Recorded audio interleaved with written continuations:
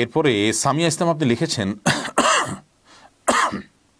আমার আম্মু অসুস্থ, কীভাবে উত্তমভাবে দোয়া করা যায়, যেটা কবুল হবেই? বোন সামিয়া, দোয়া কবুল হবেই, এরকম গ্যারান্টি দিয়ে বলা কঠিন। কারণ আমরা যা চাইব সেটাই যে আমাদের জন্য কল্যাণকর, এটি সব সময় সঠিক নাও হতে পারে। তবে হ্যাঁ দোয়া করার জন্য বিশেষ কিছু আদর্শ সময় আছে, যে সময়গুলোতে দোয়া সাধারণত ফিরিয়ে দেওয়া হয় না।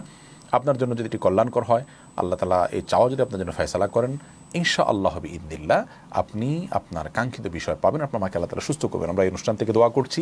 আল্লাহ রব্বুল আলমিন আমাদের বোন সামিয়া ইসলামের মাকে পরিপূর্ণ সুস্থ দান করুন। প্রিয় দর্শক, আপনারা যারা দেখছেন, আপনারাও দোয়া করুন। কারোর জন্য দোয়া করলে আমাদের কারোর লস নেই, বরং আমাদেরই লাভ।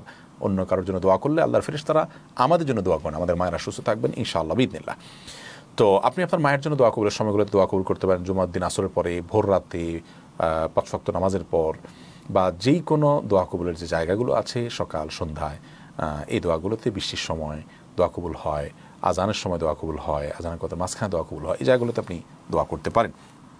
তাজবিদুল ইসলাম